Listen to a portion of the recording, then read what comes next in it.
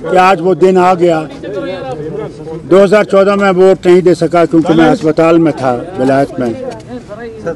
मगर अल्लाह का शुक्र है कि आज पार्लियामेंट्री इलेक्शन में मैं आपके पास खड़ा हूँ।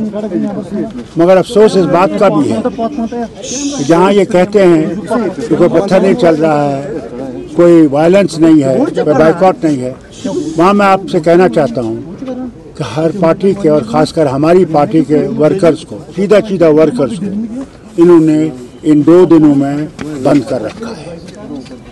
एक तरफ़ से कहते हैं कि इलेक्शन बहुत आज़ादी से हो रहा है। तो मुझे बताइए, मैं होम मिनिस्टर साहब से पूछना चाहता हूँ प्राइम मिनिस्टर से पूछना चाहता हूँ, हमारे वर्कर्स को क्यों बंद किया गया? क्या वो डरते हैं कि वो हार जाएँगे? और वो ज़रूर हारेंगे, इंशाल्लाह हारेंगे। लेकिन प्रधानमंत्री कह रहे हैं कि हम आ, कामदार है बाकी नामदार है। आनस, आप आप छोड़ आप छोड़ दीजिए ना वो क्या कह रहे हैं? वो कह रहे हैं वो कहने दीजिए। हमने तो ना हमने तो नाम देके बाकी ने तो चलिए सिर्फ़ इल्ज़ाम लगाया। हमने तो आपको नाम दिए हैं इलेक्शन कमीशन को। हमने थाने की डिटेल्स दिए हैं जिन थानों में उनको बुलाया गया है।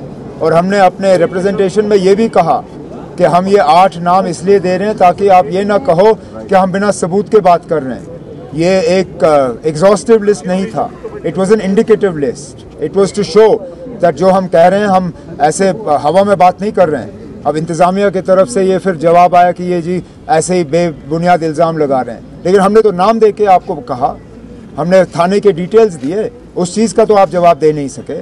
हमने किसी एक पुलिस के अफसर के खिलाफ कोई इल्ज़ाम नहीं लगाया.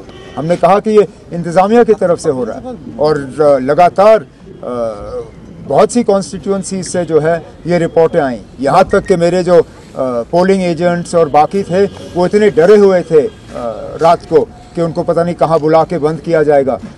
कई सारे तो या तो दोस्तों या रिश्तेदारों के घर में सोए कुछ तो उनमें से ऐसे हैं जो अपनी गाड़ियों में सोए थे रात को।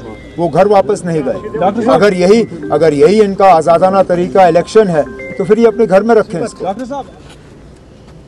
जो मैं हम लोग बार बार कहते हैं कि दूसरे जो खड़े हैं, उन्हीं के एजेंट हैं, उन्हीं की तरफ़ से खड़े हैं। आज लोग उनको दिखा देंगे कि कौन यहाँ पे है, कौन नहीं है। कर लें जो करना है। तो मुसीबत है। लेकिन अब अपनी पार्टी के तरफ़ से इस तरह के इल्ज़ाम लगाना तो मज़ाक की बात है, क्योंकि ये किया